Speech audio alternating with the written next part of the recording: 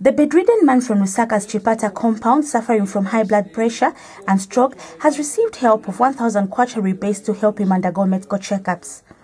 Mr. Kenneth Nkuma has been bedridden since 2010 and has been struggling with his illness that has left him with a swollen body.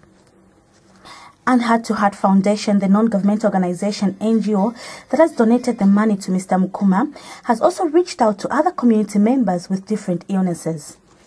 Foundation President Edna Ngoma says the task in the community is huge, further challenging government and main stakeholders to join in helping the needy.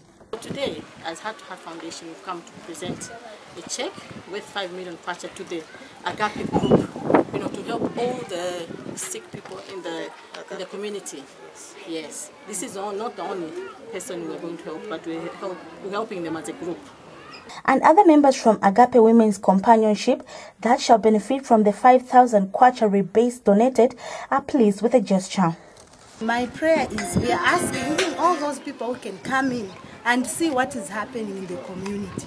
Some they have got cancer and some they have got like the same woman with a tumor. We've got so many groups. So we don't just face one person with a problem. Uh-uh. And wife to Mr. Kenneth Mkuma Esther has thanked Heart to Heart Foundation for helping her family.